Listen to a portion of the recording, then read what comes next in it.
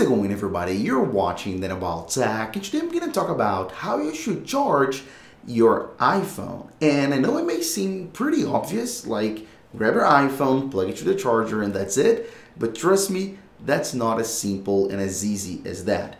There are very extremely important tips and best practices on how you should charge your iPhone that'll make a huge difference and that'll make your battery lifespan be much, much longer and last much, much longer. So please keep in mind that this is an updated video for 2023 and iOS 16. So this video is relevant for all iPhone models. And the first thing I want to talk about, I want to start the video saying that absolutely everything all the information, all the data, all of the explanation that I'm bringing in this video comes straight from Apple.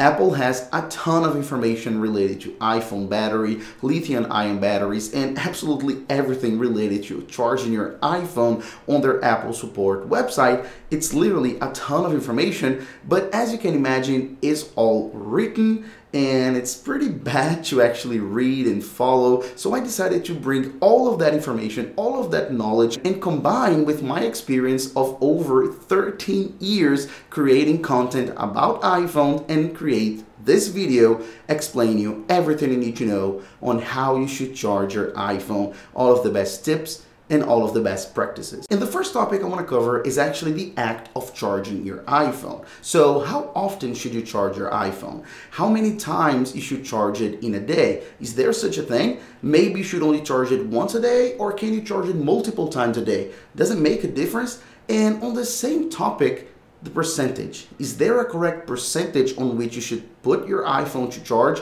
or maybe remove it from the charger or you can charge absolutely however you want. So let's start talking about this. When you're talking about how often, you don't need to worry at all. You can put your iPhone to the charger as many times a day as you want. Maybe, if you like, you can charge your iPhone once a day while you sleep, for example. Or you can charge your iPhone multiple times a day. Plug it in, plug it off, plug it in, plug it off, as you would. So there's no problem with this. You can literally plug your iPhone the best way for you, the way that fits your routine best. So first topic, we're done with that. Now, let's talk about percentage because I'm saying the amount of times you charge your iPhone. You can choose that as you wish, as I mentioned, but when you're talking about percentage, this is a huge, very, very important topic because you should only charge your iPhone between 0 and 80%. You shouldn't charge your iPhone past 80%. So from 80 to 100, that's a danger zone. You shouldn't go past 80%. And I know that's very controversial. I know a lot of people are going to talk about this in the comments and they're going to say, uh, if the iPhone battery is designed from 0 to 100, I can charge it from 0 to 100. And yes, you could, but when you charge past 80%, you're harming your battery. And I made videos here on the channel specifically about this topic. I have a full dedicated video just on this topic explaining you why you shouldn't charge your iPhone battery past 80%. It's a more technical video, a more in-depth video. And if you're interested about this topic, I do recommend that you take a look. I'll have a link in the description and on the card above as well. But I'm gonna give you an overview right here. The thing about charging your iPhone past 80% has to do with something called trickle charging. And please keep in mind that this is not for iPhone exclusively. This rule serves for absolutely every lithium ion battery on the planet. So this serves for your AirPods, for your Mac, and for your electric car, for example. So for absolutely every single device that has a lithium ion battery, because when you charge your iPhone from 0 to 80%, you're using something called fast charging, which charge your iPhones fast and doesn't harm your battery. But when you're charging it past 80%, from 80 to 100, your battery uses something called trickle charge which is a technical thing, okay? And as I said, this happens on all lithium ion batteries and has to do with their physical and chemical properties and they charge much slower when they're charging on trickle charge and it does harm your battery. So that's why it charges much, much faster at 80% and then it takes a long time to go from 80 to 100. So not only it's slow, but it's also bad for your battery. And that's why we have optimized battery charging. And I'm going to talk about optimized battery charging in a second. So stay tuned for the video. I'm going to talk about that as well. And that's why most electronic devices now have this limit on 80%. Your AirPods, for example, will stop at 80% as well. Most of the new laptops have this feature as well, which you can enable and they only charge until 80%. Same thing with electric cars. So most of the devices right now that have batteries, they already have this limit. This is not exclusive to the iPhone and they'll stop at 80% because charging past 80% is bad. And it gets even worse. If you're charging your iPhone and it reaches 100% and you keep it on the charger while it's at 100%, that's even worse. Keeping your iPhone on the charger at 100% is even worse. So the recommendation here on this first big topic is you can charge your iPhone as many times as you'd like, but as long as you charge it between 0 and 80%. Don't go past 80%. Moving on, we have to talk about battery health, more specifically maximum capacity, because with maximum capacity, we can actually understand this whole thing. I mean, when I say something is bad for a battery, that harms your battery, when I'm talking about this good or bad, preserving your battery, and everything when we're talking about battery lifespan, we have to understand the concept of maximum capacity. So if you grab your iPhone and you go to settings, and then you actually go ahead and go to battery, and then you're gonna see battery health, and right there, you're gonna see maximum capacity. So when you open up your iPhone out of the box for the first time, your maximum capacity will be 100%. That means that your battery is delivering 100% of what it was designed. So it's a new battery that still has 100% of its original capacity, okay? So it's a new battery. Now, the more you use your iPhone, the lower this number will go. It'll go to 99, 98, 95, 90, and it'll keep going down, down, down. And what this means is, as you're using your iPhone, your battery will lose its capacity compared to the original design capacity. So then instead of giving you 100% of its design capacity, of its design capabilities, it's gonna give you 90% or 85 or 80%. So it's gonna lose some of its capacity. It's gonna lose some of its power, let's say. And the older your iPhone gets, the less capable your battery will be, and the less charge, the less hours your battery will give you on the same charge, on the same cycle. So that's pretty much how it works. So the lower the number, the older your battery is, the more degraded your battery is, this is the explanation. So every time I'm saying in this video, this is bad for your battery, this harms your battery, this is really bad, you should avoid this. What I'm saying is, if you do those things, if you do those things that are bad for your battery, your maximum capacity will go down faster. Your battery will be older faster. It'll be degraded faster. So every time I say something is bad, it harms, it affects directly your maximum capacity. So when I say that charging your iPhone past 80% is bad, it means that if you keep charging your iPhone past 80%, your maximum capacity on your battery will go down faster compared to if you just charge between 0 and 80%. Now let's talk about iPhone battery cycles because it's another very important concept. So the typical normal iPhone battery is supposed to reach 80% of maximum capacity after 500 cycles. So then after going through 500 battery cycles, your battery will go down, down, down, down, down and reach 80%.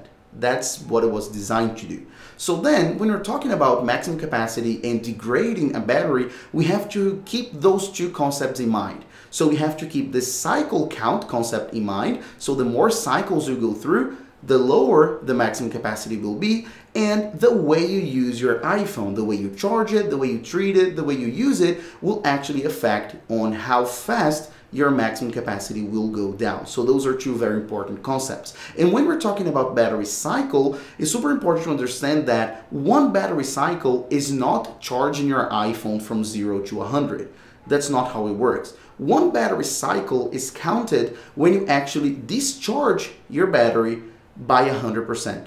So if you go ahead, charge your iPhone all the way up to 100%, which I don't recommend, and you go ahead and discharge it, so you use it normally until it reaches zero, that's one cycle. But if you get your iPhone and you charge it to 50%, and then you discharge from 50 to 0, and then you charge it to 50 once again, and discharge it to 0, that's also one cycle, because 50 and 50 it's 100. But, and this is super important and super interesting to understand, if you actually go through one cycle like that, from 50 to 0, from 50 to 0, that's one better cycle than from 100 to 0 because you got your iPhone to 100%.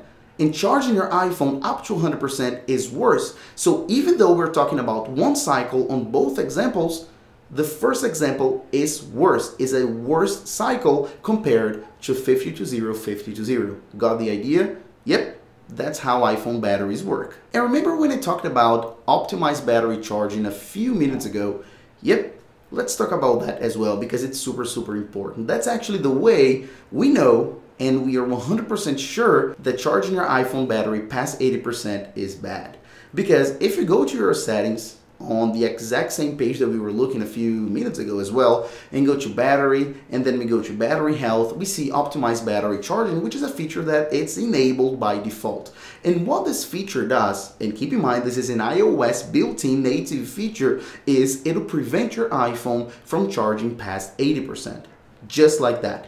So you're gonna plug in your iPhone to the charger and when you have this feature enabled it'll charge to 80% and then it'll stay there it'll not charge past 80%. So iOS has this built-in feature to prevent your iPhone from charging past 80%, giving us the confirmation that charging past 80% is actually bad. So as I said, I do recommend that you leave this feature on. This feature is also available on AirPods as well and will be available on MacBooks and absolutely all Apple devices. Now let's move on and let's talk about accessories because we're talking about charging routine, how you should charge, percentages and all of that is explanation, but we have to talk about what you're actually using to charge your iPhone. And I want to make this super, super simple. You have two options. First, you can use any authentic Apple accessory that you wish, absolutely any. So you can use any charger from any Apple device to charge your iPhone. And of course, you can use any lightning cable from Apple to charge your iPhone. So as easy as that, you can use anything. Don't worry if you want to use the huge power brick from a MacBook Pro, no problem. You can use it and you can also use the teeny tiny 5 watt charger as well, no problem as long as it's an authentic Apple charger.